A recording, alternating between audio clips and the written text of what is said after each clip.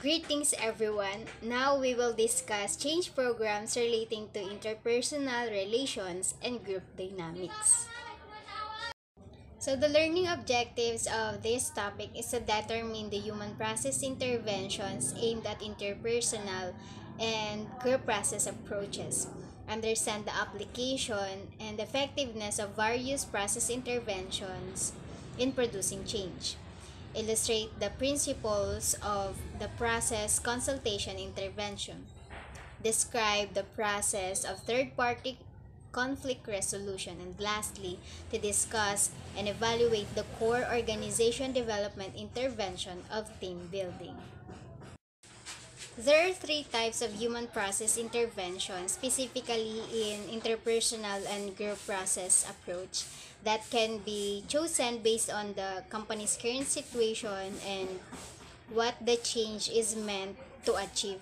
So, it in interpersonal and group process interventions, it involves process consultation, third party intervention, and team building. So before we discuss these types of interventions, let me share to you the definition of OD interventions or also known as the process interventions. According to Robert Zawacki, OD intervention is a sequence of activities, actions, and events intended to help the organization improve its performance and effectiveness. So, dito po sa process interventions, it is a set of activities na possible makatulong sa mga employee para mas maintindihan nila yung isa't isa, mas maging aware sila sa kung anong situation meron sa kumpanya nila. Sabi nga po, kung sa bahay pa lang mismo or sa family natin mismo, iba-iba na ng behavior, beliefs, or even yung skills and abilities na meron tayo. So what more kapag nasa isang company na? Iba-iba yan ang pinanggagali, pinanggalingan ng pamilya. So, it means na iba't iba din yan ng culture na pinaniniwalaan. Sabi nga, employees are the heart and soul of the company.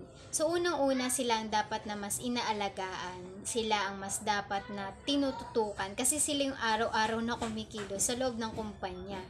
Kaya kung weak ang manpower, possible na bababa ang level of work performance or level of performance ng isang organization.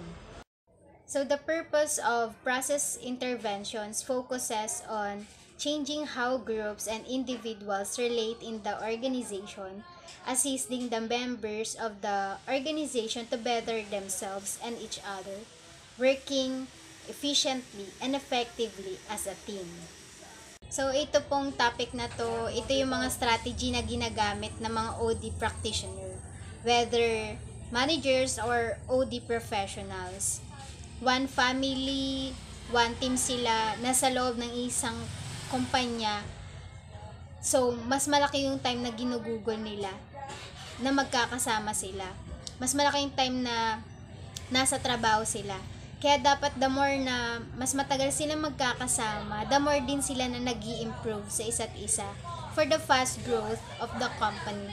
Or ma- para mas mapabilis mismo yung pag-achieve nila sa goals and objectives ng company. So, let's move on to the process consultation. What is process consultation? It is a general framework for carrying out helping relationships. According to Edgar James, it is as the creation of a relationship that permits the client to perceive, understand, and act on the process events that occur in internal and external environment in order to improve the situation. It means that process consultant does not offer expert help in the form of solution to problems, as in the doctor-patient model. Rather, the process consultant works to help managers, employers, and group access and improve human process such as communication, interpersonal relations, decision making, and task performance. As a philosophy of helping in relationship, exchange proposes 10 principles to guide the process consultant's action, such as always try to be helpful, always stay in touch with current reality, access your ignorance, all acts are interventions, clients own the problem and the solution, grow with the flow, timing is crucial.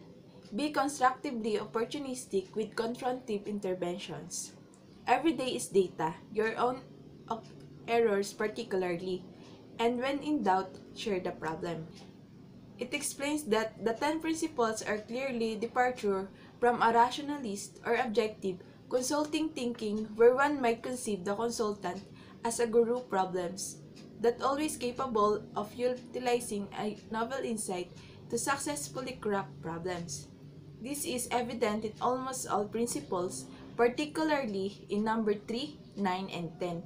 The consultant can err, but this risk should be minimized if the principle, principles of process consultation are adhered to as they are aimed to work towards the right solution steadily. There are five major processes of consultation.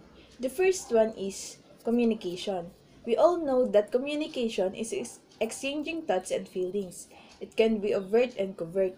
Overt is communication through body language, facial expression, and etc. While covert is hidden and the best way to make the message more explicit. Number two, functional roles of group members. The process consultant must be keenly aware of different roles individual in a group. The third one is group problem solving and decision making. Process consultant can help the group understand how it makes decisions and consequences of each decision process, as well as help diagnose which decisions must be effective in the situation. The fourth one is group norms. By understanding its norms and recognize what is helpful, the group can grow and learn from experience. And lastly, the use of leadership and authority. The process consultant needs to understand process involves leadership so that the consultant can help the leader to adjust his style to fit the situation. Here is the basic process intervention. Yung una ay individual intervention. It helps people be more effective in the communication with others. Ang example dito ay yung Johari window. Yung Johari window ay may apat na side. Una muna ay known to self, sunod not known to others, and not known to self, and unknown.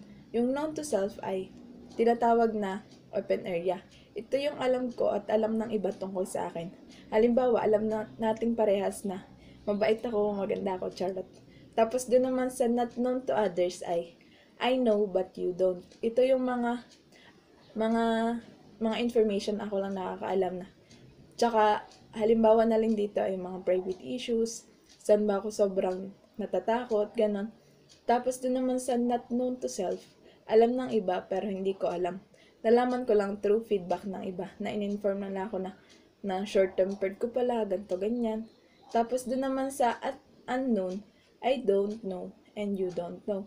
Ito yung discoveries ko pa lang. Tapos halimbawa na lang, tinanong mo ako ng gusto ko ba ng sushi pero hindi ko pa natatry. Malalaman ko lang yun kapag natry ko na.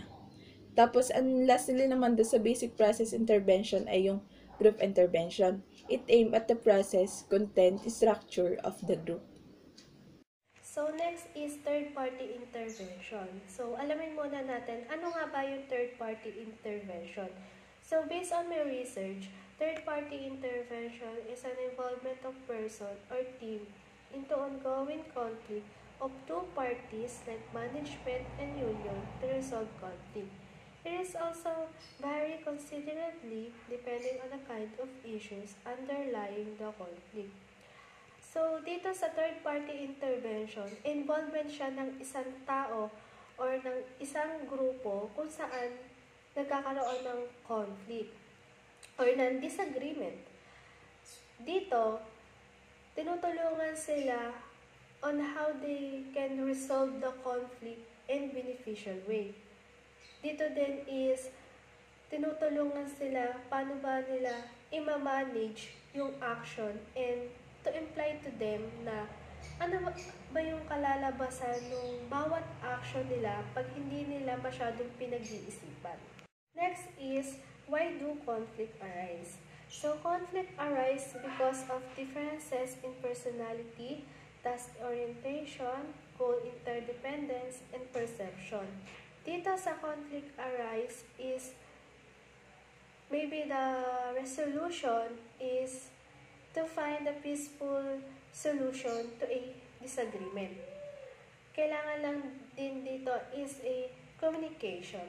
Kasi minsan sa conflict, ang pinaka main problem dyan is nami-misunderstand ng iba yung gusto mong sabihin.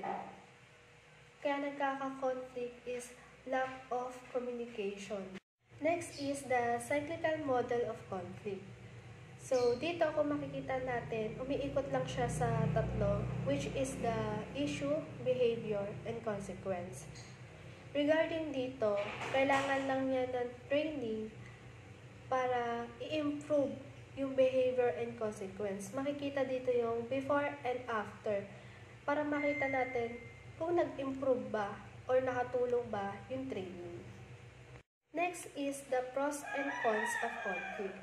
Ang pros conflict is earlier problem identification, better problem solving, healthy relationship, morale and commitment, improved productivity, personal growth, and insight. Dito sa pros, conflict, ito ay parang mas nagiging much better tayo and nade-develop yung sarili natin. And, kumbaga, kung dati mahina tayo, ngayon, malakas na. So, sa cons conflict naman, meron niyang mental health concern, a decrease in productivity, member leave organization, violence, disrupt primary purposes, and psychological problem.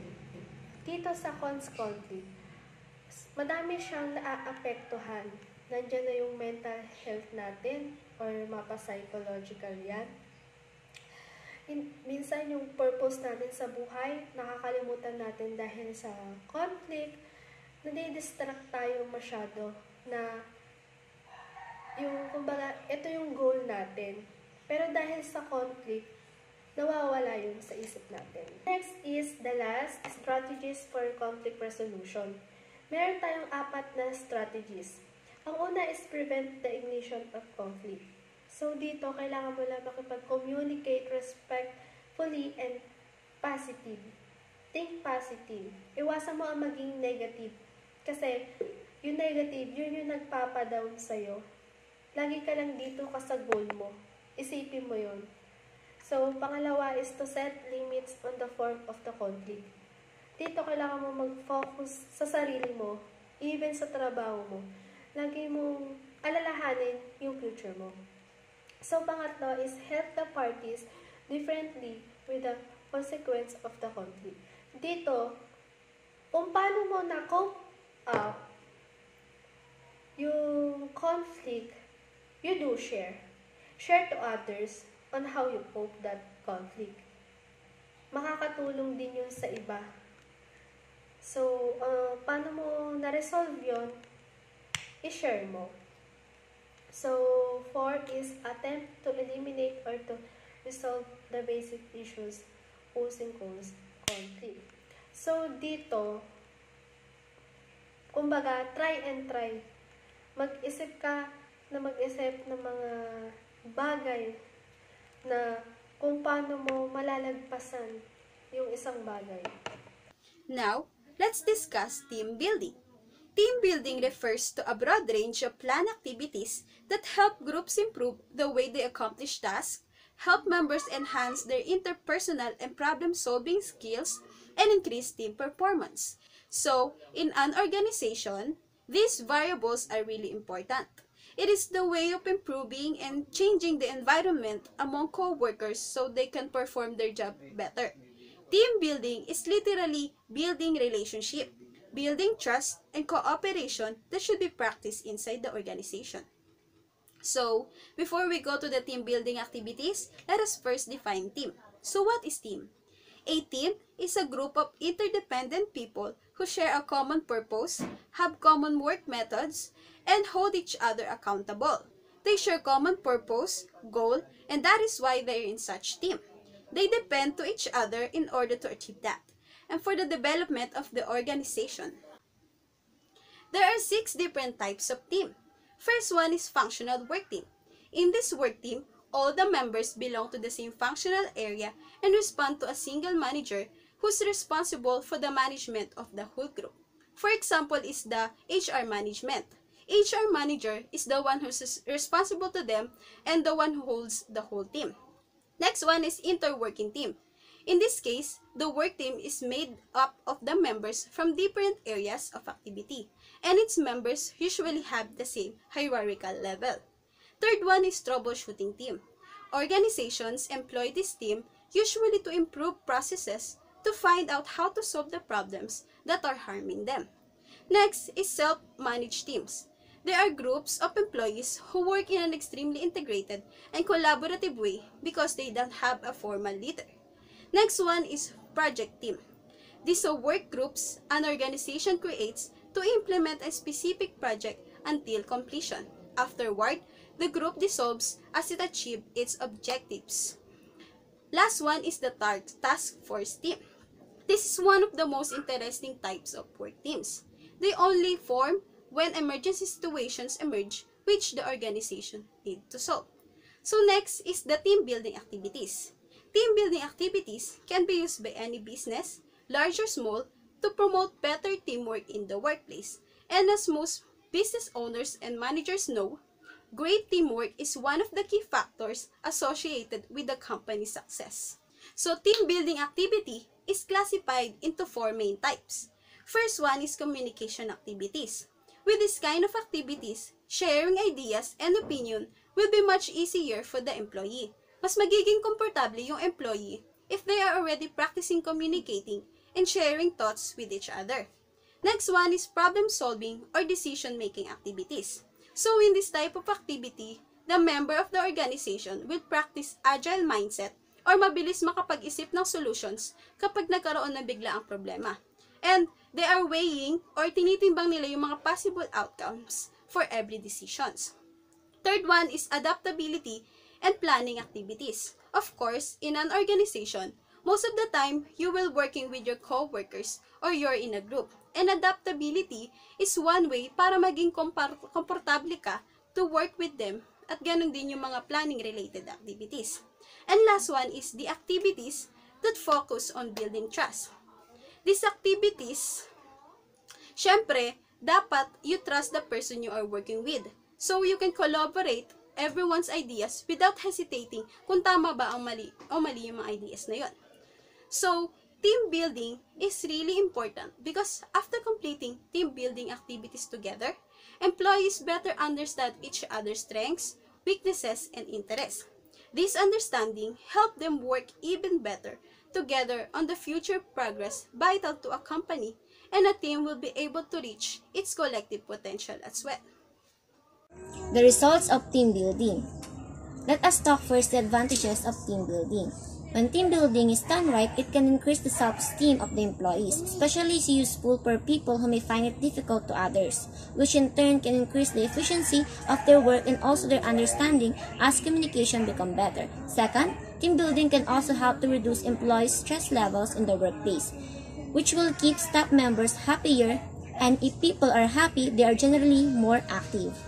Third, the team may even unite better to tackle common goals and problems that need solving and meaning obstacles are overcome much faster and targets are met or maybe even exceeded. Disadvantages. First, employees may get behind on work and have to work harder to catch up which can cause stress and irritation that could possibly even undo what the exercises sought to achieve. Second, cost is a big factor to businesses who take their employees for team building exercises. The cost is not necessarily the cost of activities, but rather the cost of time that could spend working and making money back at the office or workplace. Lastly, team building may not work all the time. Everybody is different, and not everybody shares the same interests and opinions as other, even if they work in the same industry. The manager's role in team building. The manager is responsible for team functioning. However, many managers have not been trained to perform the data gathering, diagnosis, planning, and action necessary to maintain and improve their teams. That is why OD consultant is hired to work closely with the manager and the members of the team. Assuming that the manager wants and needs a consultant, the two should work together in developing the initial program. Keeping in mind that the manager ultimately responsible for all team building activities and the goal of consultants' presence is to help the manager learn to continue team development processes with minimum consultant help or without the outgoing help of the consultant. Thus, in the first stage, the consultant might be much more active in data gathering, diagnosis, and action planning. In later stage, the consultant takes much less active while the manager is more active and serving as both manager and team developer. In addition, the manager responsible for team building must be able to find out the strength and weaknesses of the team members and create a right mix of people with different skill sets. He must focus on developing strong interpersonal relations and trust among their team members. Besides, the manager must encourage communication and interaction among their team members.